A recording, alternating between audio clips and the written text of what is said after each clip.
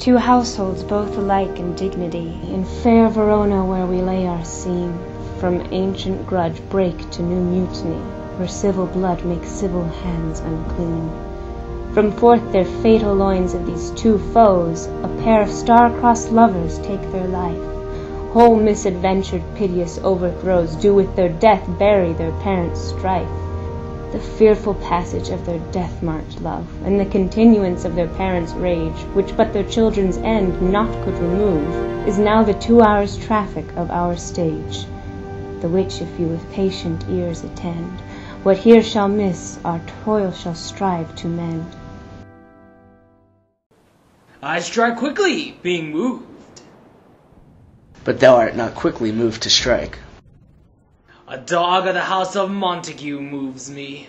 To move is to stir, and to be valiant is to stand. Therefore, if thou art moved, thou runst away. A dog of that house shall move me to stand. I will take the wall of any man or maid of Montague's. That shows thee a weak slave, for the weakest goes to the wall. Tis true, and therefore women, being the weaker vessels, are ever thrust to the wall. Therefore I will push Montague's men from the wall, and thrust his maids to the wall. The quarrel is between our masters and us, their men. Tis all one. I will show myself a tyrant. When I have fought with the men, I will be cruel with the maids. I will cut off their heads. The heads of the maids? Aye, the heads of the maids, or their maiden heads. Take it in what sense thou wilt. They must take it in sense that feel it. Me they shall feel what I am able to stand, and 'tis known I am a pretty piece of flesh. 'Tis well thou art not fish. If thou hadst, thou hadst been cat food.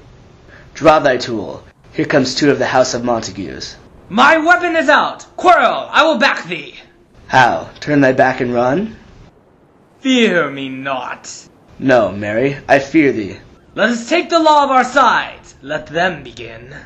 I will frown as I pass by, and let them take it as they list. Nay, as they dare. I will bite my thumb at them, which is a disgrace to them, if they bear it. Do you bite your thumb at us, sir? I do bite my thumb, sir. Do you bite your thumb at us, sir? No, sir, I do not bite my thumb at you, sir. But I bite my thumb, sir. Do you quarrel, sir? Quarrel, sir? No, sir. But if you do, sir, am for you. I serve as good a man as you. No better. Well, sir. Say better.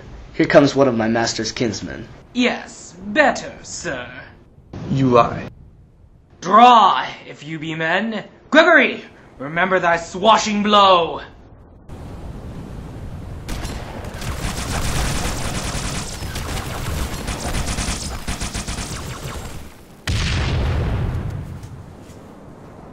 Part, fools! Put up your swords. You know not what you do.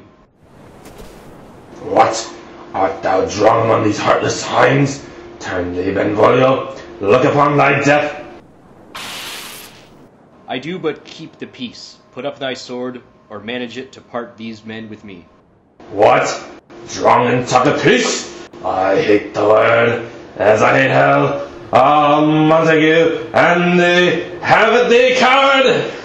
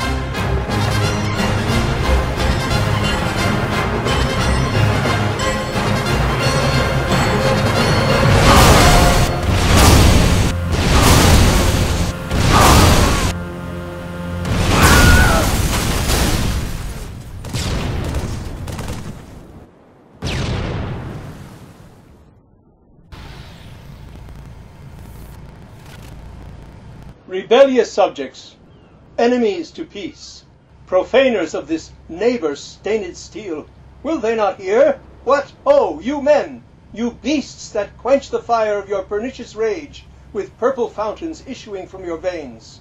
On pain of torture, from those bloody hands throw down your mistempered weapons to the ground, and hear the sentence of your moved prince.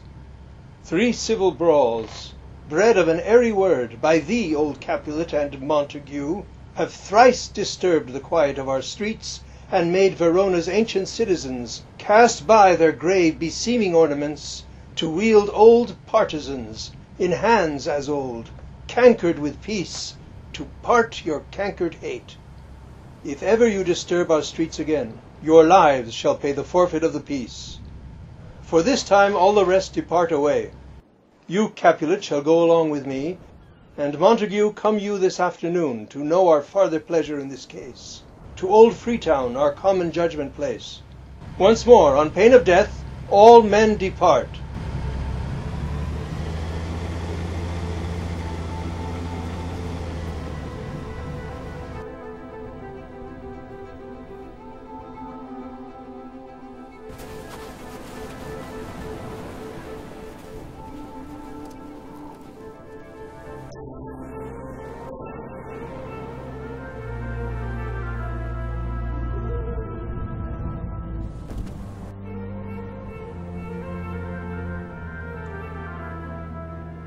Who set this ancient quarrel new abroach? Speak, nephew.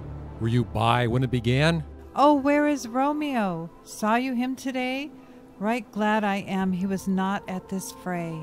Madam, an hour before the worshipped sun peered forth the golden window of the east, a troubled mind drave me to walk abroad, where, underneath the grove of sycamore that westward rooteth from the city's side, so early walking did I see your son. Towards him I made, but he was ware of me, and stole into the cover of the wood. I, measuring his affections by my own, which then most sought where most might not be found, being one too many by my weary self, pursued my humour, not pursuing his, and gladly shunned who gladly fled from me. Many a morning hath he there been seen, with tears augmenting the fresh morning's dew, adding to clouds more clouds with his deep sighs, but all so soon as the all cheering sun should in the furthest east begin to draw the shady curtains from Aurora's bed, away from light steals home my heavy son, and private in his chamber pens himself, shuts up his windows, locks fair daylight out, and makes himself an artificial night. Black and portentous must his humor prove, unless good counsel may the cause remove. My noble uncle, do you know the cause? I neither know it nor can learn of him. See where he comes, so please you step aside. I'll know his grievance, or be much denied. I would. Thou wert so happy by thy stay to hear true shrift. Come, madam, let's away.